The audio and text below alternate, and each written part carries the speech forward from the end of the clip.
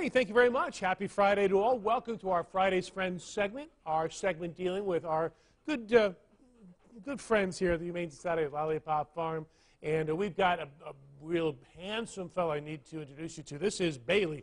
Bailey is a two-year-old St. Bernard Lab Mix who was brought to the Humane Society. You're a good boy. Just hang in there just a second, Bailey. We're not done yet. We got to look out. Now, this man, this boy is strong, but playful, handsome as can be. Again, brought to the Humane Society because he could no longer uh, it was no longer being taken well care of by his former owners. Could you sit for me, Bailey? Could you sit? There you go. He knows commands. He does well on a leash, already knows some commands. He comes in at 84 pounds, but uh, boy, I tell you, uh, every pound is a, is a lot of love. So a lot of love in this guy right here. Yes, a lot of love in this guy right here. We're talking about you.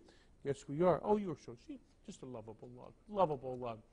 All right, now what else do I want to tell you about? He, uh, Lollipop recommends that Bailey would do best in a home with kids age 14 and older. They should, of course, meet all the other resident pets. Hey, do you remember our fellas from last week? These are the brothers, and I'm happy to say within, inst within an instant, uh, they were adopted. Have great homes for our brothers last week. Uh, remember Oscar Meyer and Weenie. 223-1330, 223-1330. Let's take another look at our guy today. Handsome, handsome guy. Again, this is Bailey and he just would love a home. And he needs a home, and he's good and healthy and strong. Great to go out in the fall afternoon and go romping in the leaves, don't you think? 223 1330. 223 1330. You are a good guy. All right.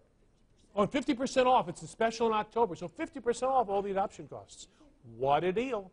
I think we're ready to go out and play in the leaves in the fall. Have a great weekend. We'll see you next time. Okay, Bill? Good job. You were.